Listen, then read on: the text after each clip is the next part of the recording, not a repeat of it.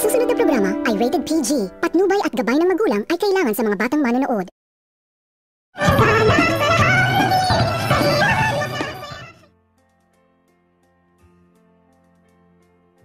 Labis-labis itong nag-alala si Doktora Annalyn Santos pagkatapos nitong malaman ni Doktora Annalyn Santos na nan-aksidente ang kanyang ama na itong si Dr. Tanyag kung kaya't agad naman din itong pinuntahan ni Doktora Annalyn Santos ang kanyang ama at nang makaharap na niya ito ay agad nitong sinabihan ni Doktora Annalyn Santos ang kanyang ama. Ligtas umano nito ni Annalyn at lumaban umano ito dahil gagawin umano nito ni Annalyn ang lahat-lahat at hindi na ito nagdadalawang isip pa itong si Annalyn ay agad naman din itong pinulsuhan ni Annalyn ang kanyang ama at dito nang, nang malaman nito ni Annalyn na may pulso pa ang kanyang ama ay agad na nitong isinigawa ni Annalyn ang operasyon up- upang mailigtas nito ang kanyang ama.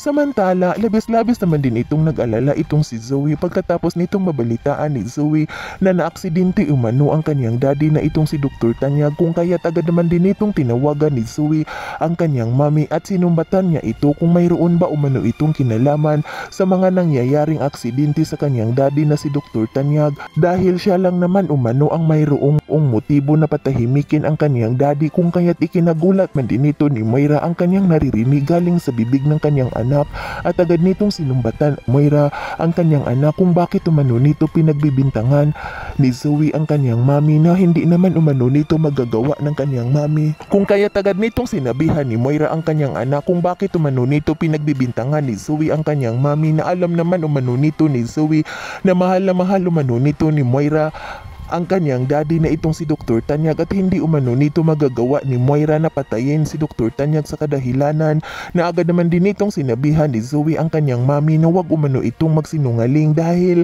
nagawa na umano nito ng kanyang mami na itulak ang kanyang daddy sa hagdanan at mabuti na lamang umano ito ay nagkaligtas kung kaya naninigurado ay mayroon umanong kinalaman kanyang mami sa nangyayari sa kanyang daddy. At dito, sinabihan naman din nito ni Moira itong si Zoe na wag umano nitong pagbintangan ni Zoe itong si Moira dahil ang mayroon umanong masamang motibo ay walang iba kundi ang kanyang totoong daddy na si Dr. Carlos dahil tinawagan umano siya ni Dr. Carlos at sinabi umano nito ni Dr. Carlos na tutudasin na umano nito si Dr. Tanyag ngunit pinakikiusapan umano nito ni Moira na wag umano nitong saktan si Dr. Tanyag ngunit hindi naman umano nito sinunod ni Dr. Carlos sinasabi ni Moira. Yan ay ating aabangan sa susunod pa na pangyayari sa kaganapang ito ng abot kamay na pangarap. Huwag mong kalimutang isubscribe at i-hit ang notification bell ng aking channel